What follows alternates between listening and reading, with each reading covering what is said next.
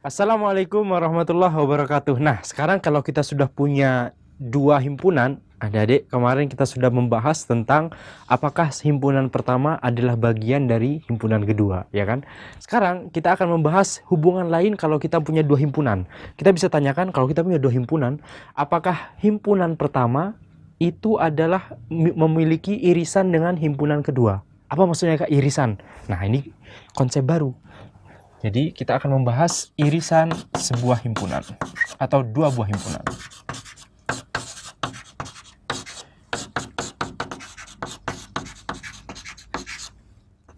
Nah, sekarang kita lihat misalnya himpunan I, kemudian kita lihat himpunan S.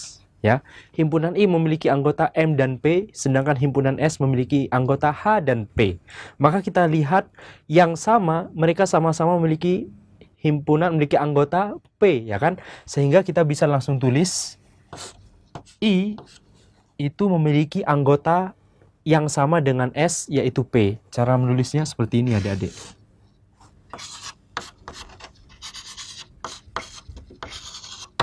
Nah, jadi himpunan irisan antara I dan S itu punya anggota P. Kalau kita gambar, misalnya himpunan I itu sebagai ini himpunan I terdiri atas anggota M dan P. Kemudian ini anggota ini himpunan S terdiri atas anggota H dan P. H dan P. Maka anggota apa, apa anggota P ini itu dicakup oleh himpunan I dan himpunan S secara sekaligus. Keduanya mencakup anggota P. Maka kita katakan kalau kita ingin menyimbolkan ini, ini kan himpunan baru. Himpunan yang merupakan irisan antara himpunan I dan himpunan S. Himpunan ini disimbolkan sebagai simbol ini. I kemudian ada seperti topi dari atas seperti itu, kemudian S ini adalah anggotanya adalah P. Mari kita lihat contoh lain lagi. Misalnya kita lihat di sini M dan MS. Ya, kita gambar. Himpunan M itu memiliki memiliki anggota-anggota M, kemudian P, kemudian K, kemudian B itu adalah himpunan M. Sedangkan himpunan MS dia memiliki anggota M, P, K, dan H. Maka kita bisa tuliskan seperti ini. Ya, sehingga himpunan MS memiliki anggota M, P, H, dan K. M, P, H, dan K. Nah, anggota himpunan yang ini, yang tengah ini, kita bisa menyimbolkan, ini tentunya himpunan baru kan? Jadi himpunan yang mencakup anggota ini saja. Maka kita simbolkan himpunan yang merupakan irisan dari dua himpunan ini dengan simbol M MS seperti ini. Dan anggotanya adalah M P dan K. Jadi irisan dari dua buah himpunan itu menghasilkan himpunan baru.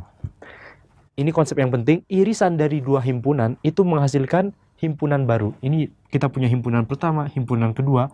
Irisan dari keduanya adalah himpunan baru. Kita punya himpunan pertama, himpunan kedua, irisan antara keduanya adalah himpunan baru.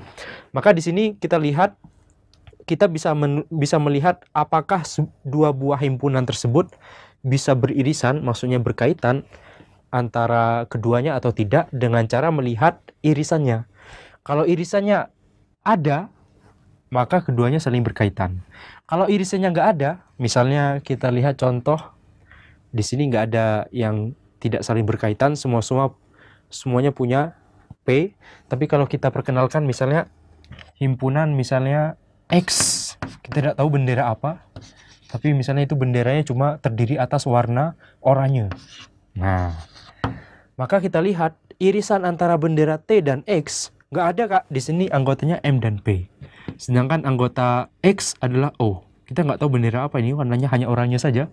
Maka di sini nggak punya irisan. Kita tulisnya bagaimana? Maka irisan dari T diiris dengan himpunan X adalah himpunan kosong. Nggak ada.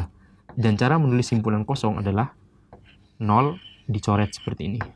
Nah, intinya nggak ada uh, irisannya. Kalau kita gambarkan, kalau ini himpunan T, yaitu terdiri atas M dan P, kemudian X terdiri atas uh, anggotanya adalah O, maka mereka tidak beririsan sama sekali. Ini yang kita sebut irisan antara keduanya menghasilkan himpunan kosong. Insya Allah kita akan membahas lebih lanjut tentang bagaimana hubungan antara dua buah himpunan selain irisan di pertemuan berikutnya. Wassalamualaikum warahmatullahi wabarakatuh.